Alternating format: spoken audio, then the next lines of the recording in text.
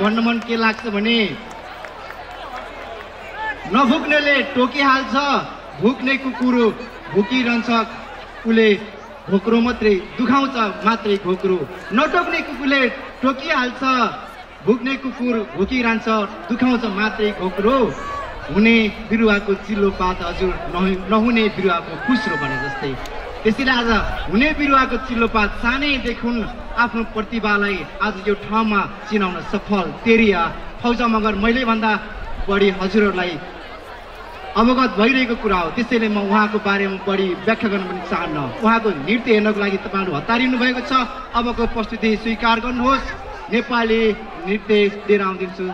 हुँदैछ तेरिया फौजामा गएर स्वीकार गर्नुहोला प्लिज धन्यवाद।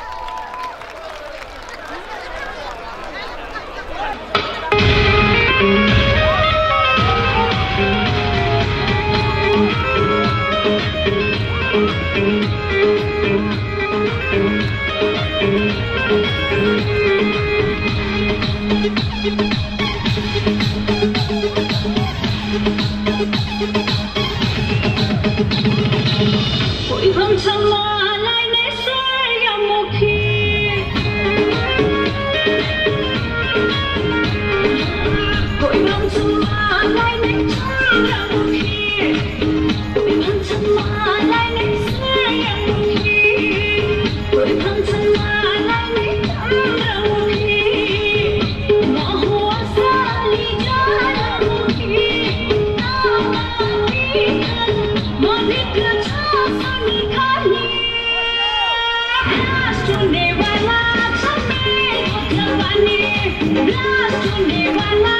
मेरे जो जवानी